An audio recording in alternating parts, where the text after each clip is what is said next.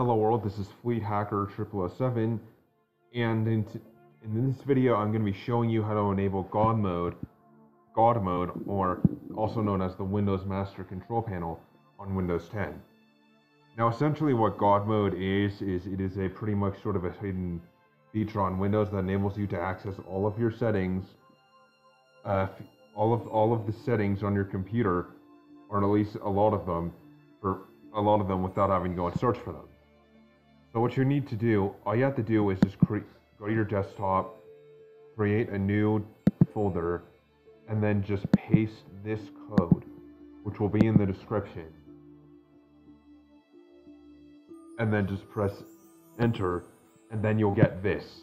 Now all you have to do is just click on this and open it.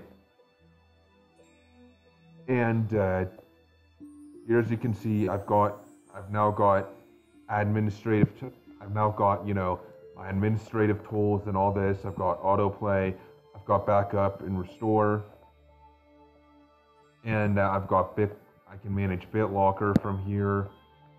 It looks like I might be able to restore. It looks like I might be able to go, be able to convert my computer back to Windows 7 from here. I can access my devices and printers. I can. I can.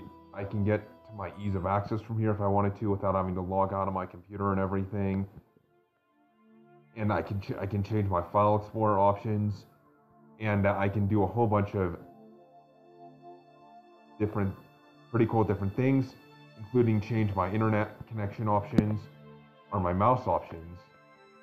Because and because I created this folder, or which enables God mode for my computer, I can uh, I can also I can access pretty much every setting on my computer with, without having to go through the rigmarole of going of going and finding that setting on my computer.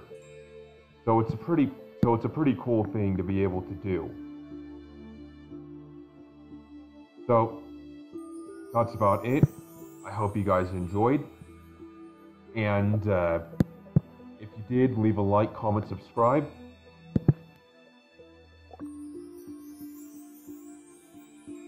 This is Fleet Hacker 0007, and I'm signing off.